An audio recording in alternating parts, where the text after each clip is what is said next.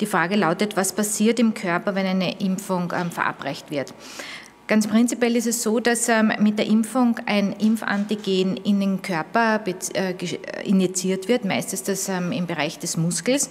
Und ähm, von dort kommen dann an die Impfstelle äh, Zellen des Immunsystems und nehmen dieses Impfantigen auf und transportieren dieses Impfantigen dann an die sogenannten lokalen äh, Lymphknoten. Die befinden sich hauptsächlich unter der Achsel und dort wird die essentielle Immunantwort aufgebaut. Ähm, da sind ähm, sowohl B-Zellen als auch T-Zellen involviert und das Wichtige, was man hier dann erreicht, ist, dass sogenannte Antikörper, also Schutz, Schutzstoffe gebildet werden, die dann noch im Blut zirkulieren und die Aufgabe haben, Antigen sehen, also wenn dann wieder ein Kontakt mit dem echten Erreger zustande kommt, dieses, ähm, diesen Erreger abzufangen, ähm, zu inaktivieren und ähm, unschädlich zu machen, sodass zum Beispiel im Falle eines Virus ähm, das Virus gar nicht in die Zelle eindringen kann.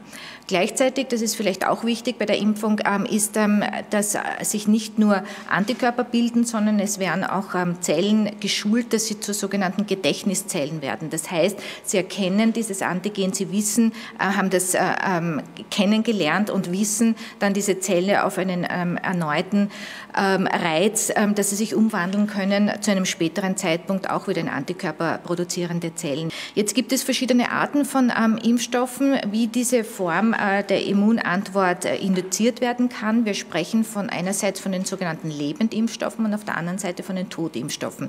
Lebendimpfstoffe bedeutet, ähm, dass äh, Erreger in einer abgeschwächten Form ähm, dem Körper injiziert werden, äh, abgeschwächt insofern, dass ähm, diese Viren nicht mehr krankmachend sind, aber doch so weit sich vermehren können im Körper, dass eine äh, Immunantwort aufgebaut wird, so wie ich das auf der einen Seite geschildert habe in Form von Antikörpern, aber auch, dass sich Zellen dagegen rüsten können und vor allem D-Zellen, die dann ebenso bei der Abwehr dieses Virus aktiv sein können. Wichtig bei den Lebendimpfungen ist, dass sie eine sehr lange Immunantwort Antwort in unserem Körper ausbilden können. Und in, der, in vielen Fällen ist das sogar eine lebenslange Immunität. Als gutes Beispiel äh, möchte ich hier die, die Lebendimpfung gegen Masern, Mumps, Rötelviren ähm, nennen.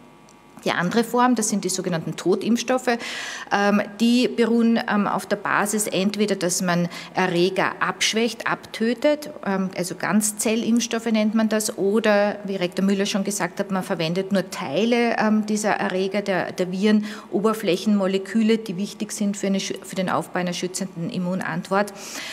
Oder man verwendet nur die Toxine, die ein Bakterium zum Beispiel produziert und wandelt sie auch in eine Form von sogenannten sogenannten Toxoiden um, sodass sie nicht mehr wirklich giftig sind, aber eine schützende Immunantwort aufbauen können.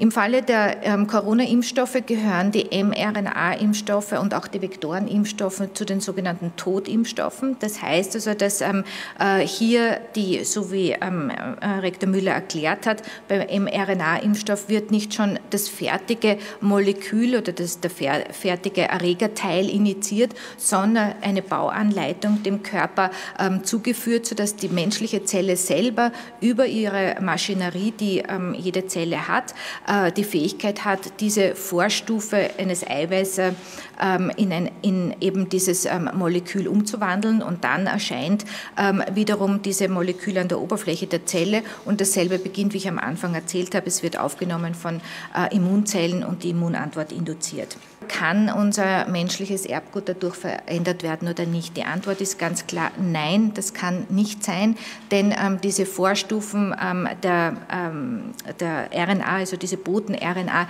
gelangt niemals in den Zellkern einer Zelle, dort wo sich ähm, DNA befindet, dort wo sich die äh, Information für das menschliche ähm, Erbgut befindet, dort wird niemals ähm, eben ein, äh, äh die, diese mRNA hineingebracht, auch bei den Vektorenimpfstoffen, die Adenoviren, Viren können nicht ähm, ihre, ähm, sozusagen ihre eigene genetische Information in unser ähm, Erbgut einbauen. Dazu würde es eine spezielle Enzym benötigen, das weder wir Menschen haben, noch zum Beispiel die Adenoviren, das ist diese reverse Transkriptase. Also bei diesen Impfstoffen ist es unmöglich, dass der Impfstoff in unser menschliches Erbgut eingebaut wird und dadurch sich irgendetwas schädlich dauerhaft verändern könnte. Dass bei jeder Impfung im, im Rahmen des Aufbaus einer Immunität Immunantwort eine Immunreaktion auftritt.